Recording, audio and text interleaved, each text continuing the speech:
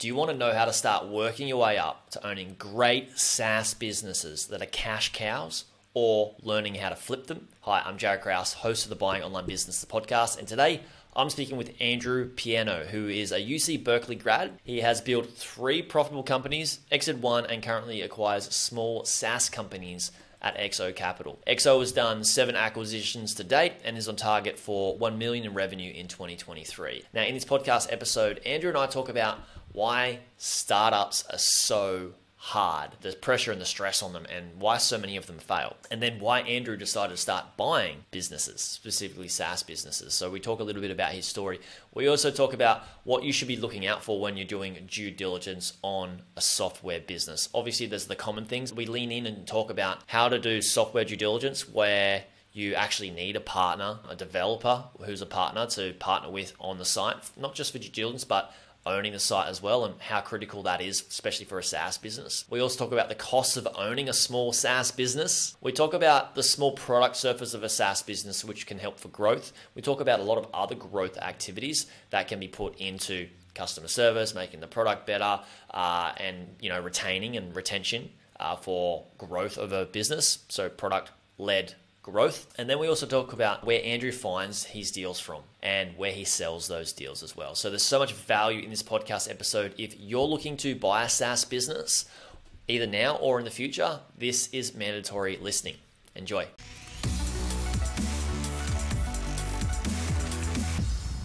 Andrew, welcome to the show. Thanks for coming on. Thanks so much, Jaryd. Happy to be here.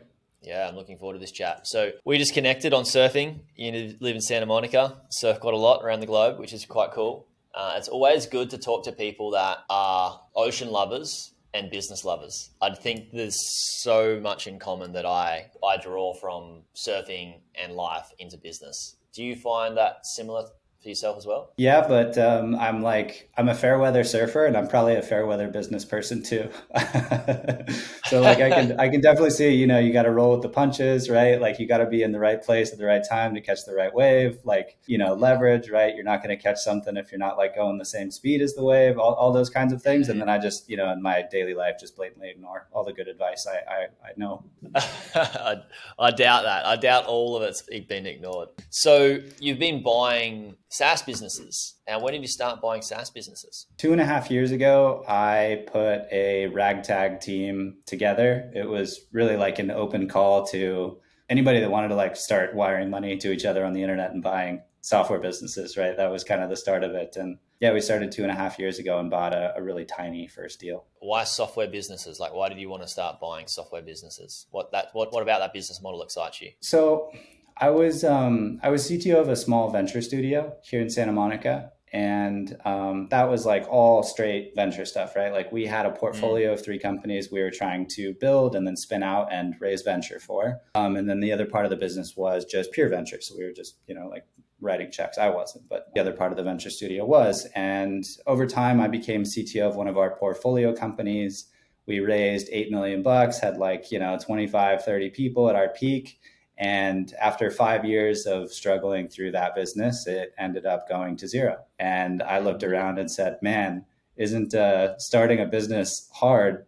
Might there be some easier way or, or less risky way to do this? And I started following Andrew Wilkinson and seeing what like Tiny Capital is doing, SureSwift, some of those guys, and thought, why not? Let's just try it. Let me just put, I don't know, 10 grand that I'm perfectly happy to lose learning, call it like my little mini MBA, and um, find some partners to de risk it a little bit. And let's go buy a couple of these things and just feel it out. I'm a software engineer by training. So, like, I don't know anything about e commerce. All the content stuff that you guys talk about is way over my head, too. I'm like, sheesh, man, we are like, woefully underutilizing SEO and content to grow these things. But um, yeah, that was kind of the start. I think a lot of SaaS businesses don't have the best content marketing strategy to be honest. When i've looked at some saas business i'm like look you, i love i love focusing on retention and uh, I love I love membership is membership and SaaS businesses for that reason. And you know, a lot of the marketing can go or marketing budget should go into product and, and service. There's a lot left on the table with uh, no content marketing strategy, especially for Evergreen. Yeah, it holds the business in a solid way if it's good evergreen content and it's organic. Part of it's a skills gap. You know, I think um, mm. it'll delight your users to know how long it took us to just get one blog post per week per company to an email list that like sends out and have that that work. That took forever. Um, I wouldn't say it's like the highest quality thing, but like that is the extent to which we are doing like content marketing. Yeah, yeah. There's so many similarities in what you did um, to myself, except I definitely am not a technical guy. I was a plumber and I uh, started to try and make money online through a few startups. Didn't really do anything. And I was like, hang on, I should try and buy one. And so you started around 10 grand for your first one. I started around similar price range, 15 grand, and then worked worked my way up. And yeah, it's cool. It's cool to see that you've had you had the same chain of thought of like, why don't like these startups are really they're grueling. They're just insane, aren't they? Like what yes. what what about the startups made it a no brainer for you to buy a business? Um, you mean why did the why was venture so hard relative to buying buying a business, or what went wrong with the venture backed company? Yeah, I think the problem with um, venture in general is that particularly a couple of years ago, right, in a zero interest rate environment, like that's that's like free money. And so a lot of capital was flowing to companies that had really no business being a venture scale business.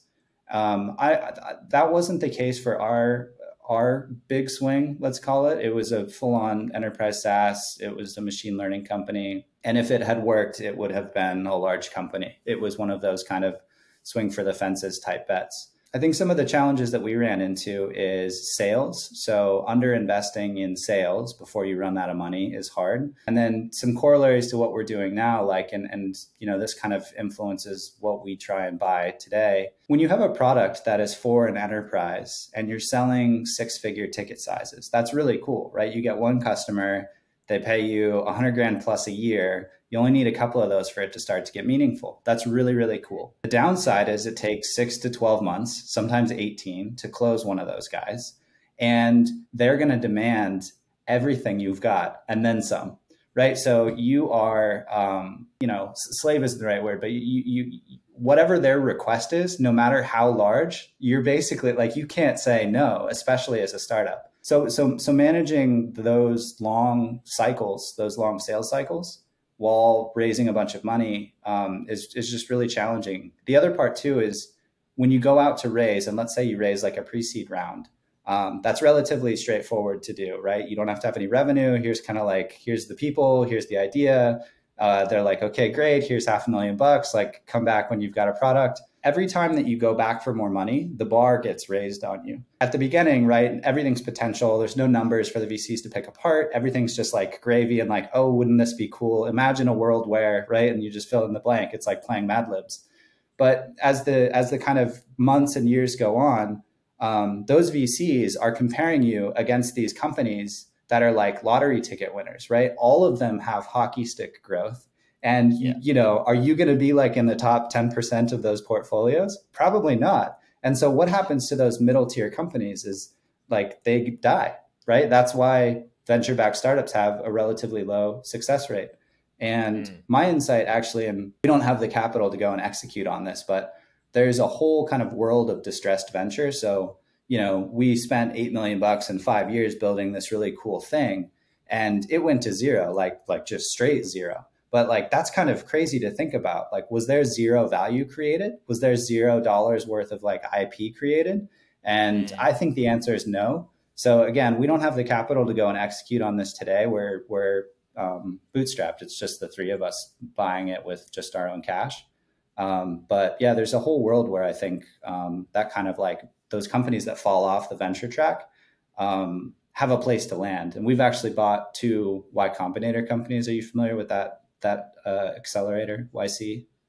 No. Y Combinator. It's one of the the the if not the most famous like startup incubator in the world, and and they crank out like hundreds of of startups every year, and you know many many household names have gotten their start at YC, but even more right fall off and, and go to zero. But again, that's not many to say that they haven't fall off. and go yeah, yeah. yeah, that's right. And but but a lot of them, you know, they might have fifty thousand a year in revenue, hundred thousand a year in revenue, and it's like they're not venture scale. But if I take all the engineers and fire them, right, or like you know they go away, and we hire some developers out of South America or you know at the beginning like yours truly would just jump in there and be like oh i think i can handle this we can we can make it so that that 50000 or $100000 a year is kind of significant um, for us right? Small fries that's like um, that's pretty decent money for depending again on how much effort we have to put into each of these little businesses.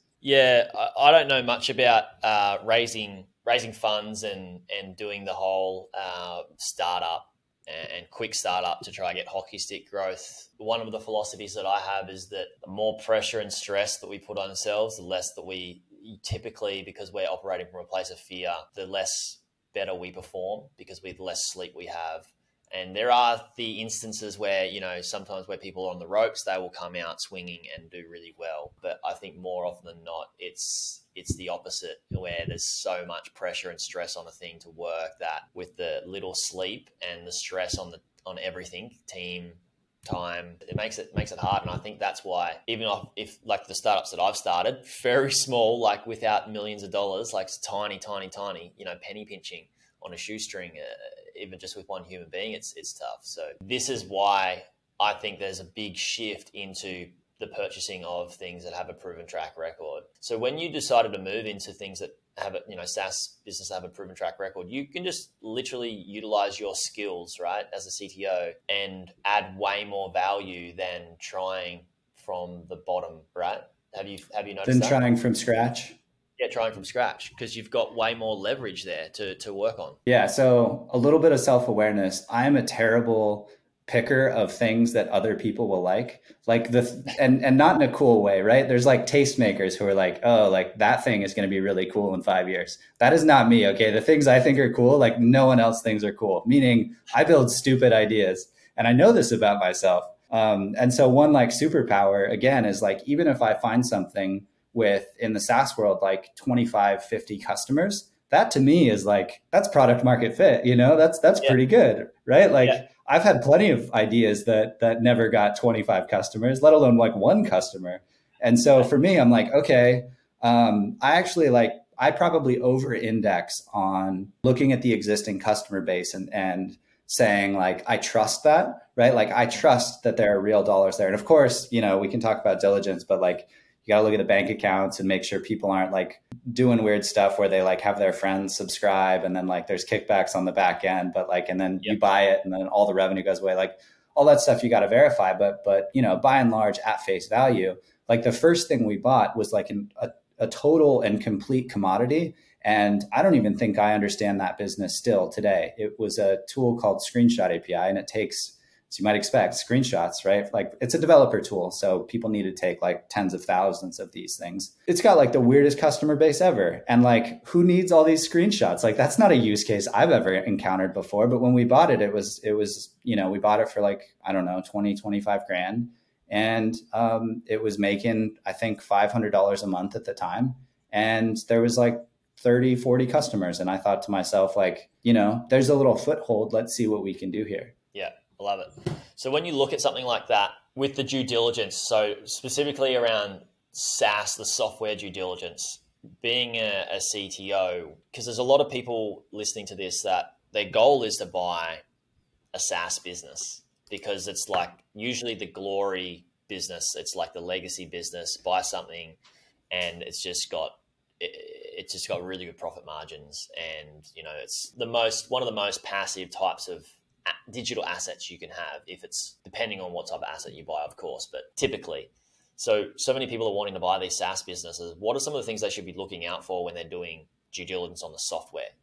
Are, you saying, you know, have somebody help with the software DD part of it? Because myself, I would not know how to do the, the software on a screenshot uh, type SaaS product. Yeah, there's um, I think there's two different answers. One is if you're not going to partner, like you yourself as a solo operator want to buy a SaaS business, but you're not technical, you need a partner of some kind, whether they're on, you know, the cap table or buy the business with you, or it's the person from Upwork that helped the other founder build the startup. Like you need to have that person involved right. in some capacity.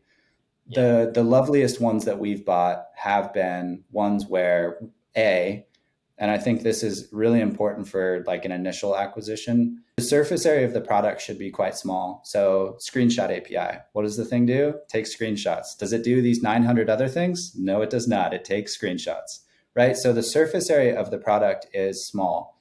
And what that is as close to I'll ever admit to being like passive income. And by passive, I mean for us, we have two of these where I'd consider them relatively passive. Again, have a small surface area on the product side um, we bought them nearly complete. Um, so it, there wasn't a lot of investment on our side, right? We were doing the due diligence to know that we wanted to buy something that was relatively passive because we bought stuff before that we thought was going to be passive, and it ended up being that you know all of these feature requests were sitting in you know intercom or some like chat support system, and there were a ton of people that were willing to pay for the software if they had all these features. Um, mm. That's not the case when you buy something that has just like a narrow, I call it just like a single promise to the customer. So again, yeah. does the thing take screenshots? That's what I need. Great. They sign up, they pay. That smaller surface area, I think, is really important. It also makes diligence easier because, frankly, there's just not that much code to go through, um, mm-hmm. which helps a lot. And I think the thing for us too, and this is where I start to kind of drift into just like putting my CTO hat on. I like we have three full time developers now but the buck always stops with me. So I'm like the fail safe. I don't want to have to do this, but our worst case scenario for a bad technical buy is me doing like a diving save, right? And um, that's nice to have. Like that's one of our kind of, I guess, competitive advantages. But for somebody that's non-technical, that's going to have to be that person on Upwork or um, uh, you know whatever wherever they found that developer they're going to have to get somebody that they can ping at any time because stuff's going to go haywire. Even just in like the natural growth progression of a small startup, like things break because you don't want to pay for bigger servers than you need, right?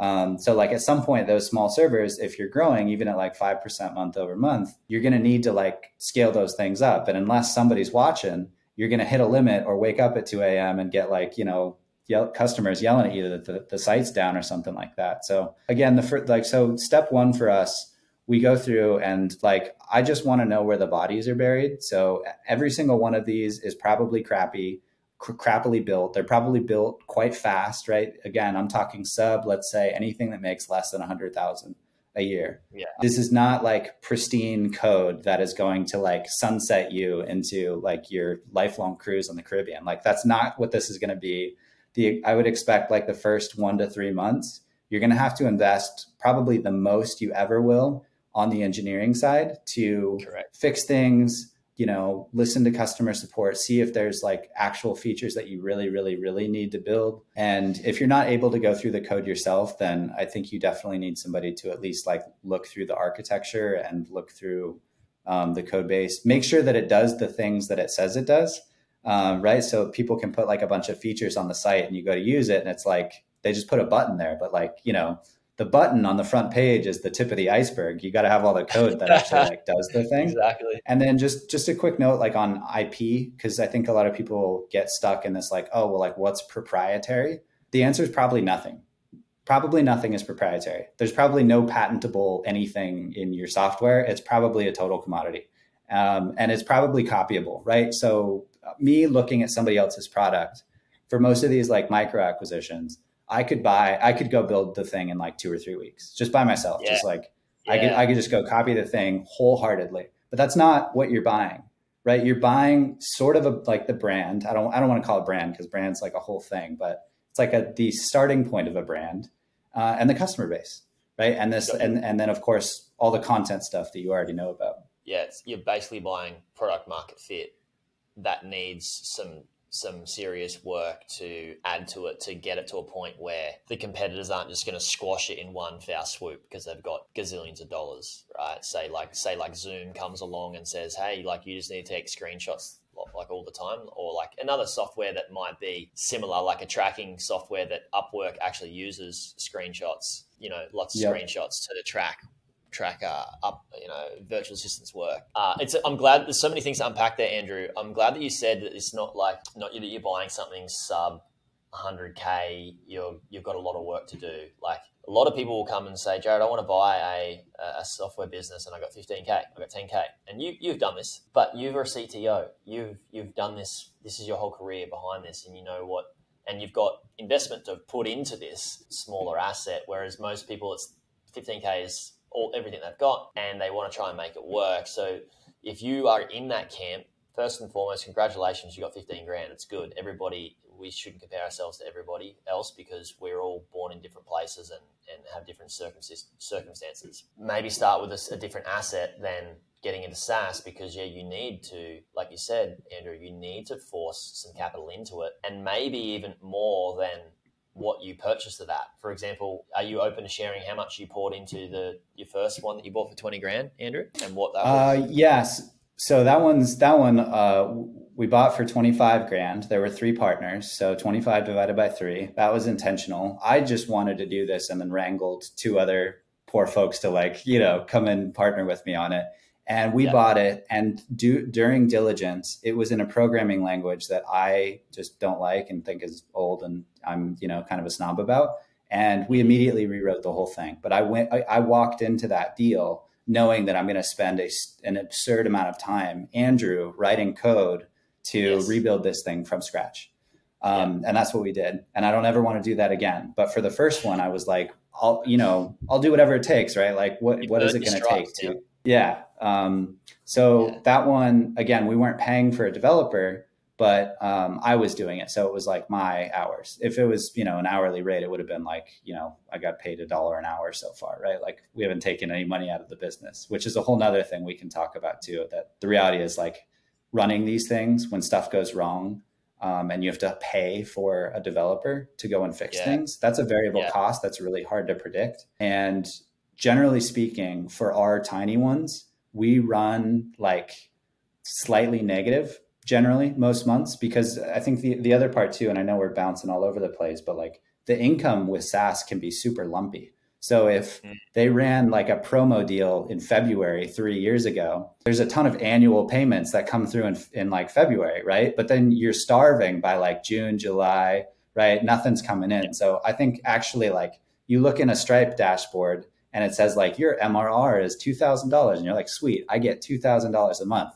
But no, you do not. You might get like 4,000 some months and like zero some other months too. And so managing the cash flow in that way is also like that was one of the bigger surprises too, getting into this space. Yeah, check that out during due diligence, guys. Black Friday sales um, can alter the the average monthly revenue. It's it's funny if I find the people that are really good with their own personal finances can be really good with business finances, and uh, that's where a lot of I like to help people fix their leaky bucket syndrome, what I call before they get before they even chuck money into a deal. A lot of people come to the space and say, Jaryd, I want, I've got this amount of money and I want to use finance to buy the deal. I normally ask them, have you got any other debts and what are they? Are they personal debts, credit card debts? Because if you're not great with your own personal finances and you're going to buy a business and pour finance into it, the money can leak out just as fast as as it's coming in because you don't know how to handle it because you haven't worked on the smaller stuff first. And that's not to poke holes at anybody, but it's just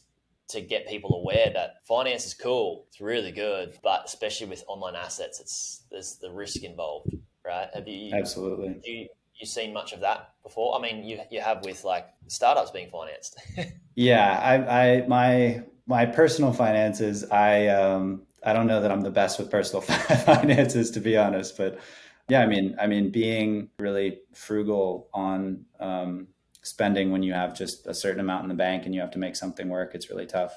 The the real benefit is that we, the three of us that initially started this for the first year and a half, didn't take any money out of the business, and it was only it was only at January of last year that um, one of the three partners went full time and started taking a salary. So I'm still not a burden to the business um, and the other partner is still not a burden to the business. And we're still just like writing checks occasionally to fill gaps right? Because we have payroll now and some headcount. And um, are continuing to try and be just as frugal as possible yeah. And what is your goal with these? Is your goal to sell them eventually or to hold them as as cash cows to reinvest some of that money into other assets you know sometimes people i don't i don't know how you feel about this but um, I was told by various people, like, start with a thesis. So, like, what's your investment thesis? And we, for the first couple months, we're like, okay, great. We got like this thesis. It's so specific. And do you, know, do you know how many deals matched that thesis criteria? Zero. There was zero. We didn't buy anything because nothing matched it. So we are like, okay, maybe a thesis like isn't the right word for this. Um, and so we ended up buying like three little things pretty close to each other. And and to date, like I still don't think that we have enough cash to really have any kind of a thesis. We have bought SaaS app like there's let's let's say there's two categories of SaaS applications too. There's like B2B enterprise SaaS, right? So you're selling high ticket deals to like other enterprises. These are like larger companies, right? These aren't somebody that is like a freemium model and comes and signs up and spends 10, 20, 50, 100, 100 under $100 per month with you. These are like, you know, thousands of dollars per month type of, of customers. We've bought a couple of those and those are way different operationally than these self-serve freemium, right? Where you come in, there's a two-week free trial and a certain amount convert, and it's you're tweaking. Those are kind of the knobs you tweak, right? Like, where's my top of funnel? What's my conversion rate to sign up? What's my sign up to paid rate? What's my retention? Um, all that stuff. We have since started buying more kind of product led growth, as it's also called, or freemium type products, right? Those are much, much easier for us operationally. And again, we're still trying to focus on like those single promise to the customer. But in terms of finances, there's really not that much money coming in the door on a monthly basis above like our base payroll costs for these smaller businesses. The, the money comes from sales of these businesses. So if you're really looking to compound capital, I think you have to flip them.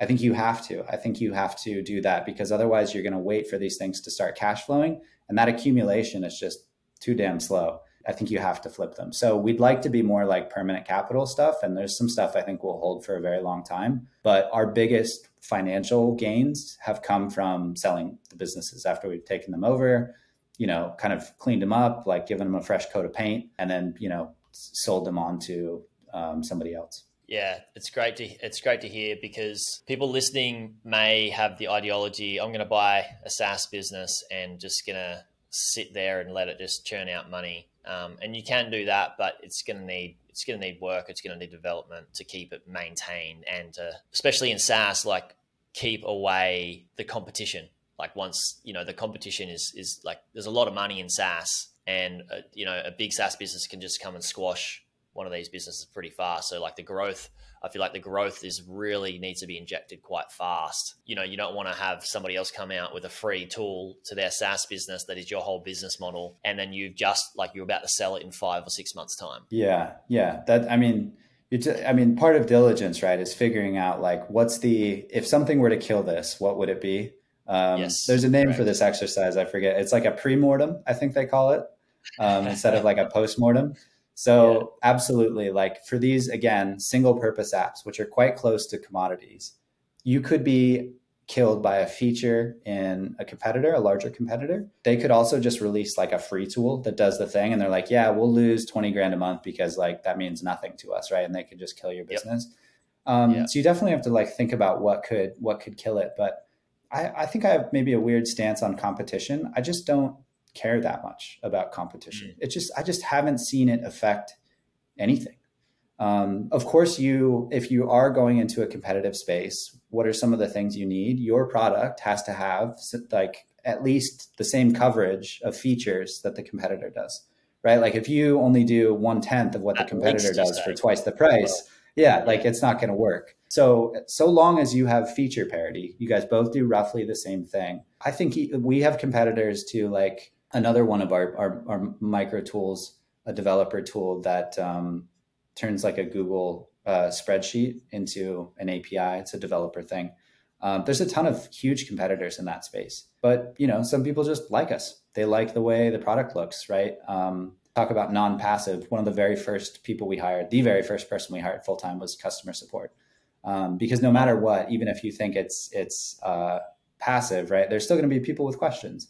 And like you can win so much business by just responding within an hour to somebody's question um, that they could full well look up right? They might just be testing you but it's so nice to be able to just open a chat box and talk to a real human and get a real answer And yeah. we try and win on simple things like that to beat out the competition.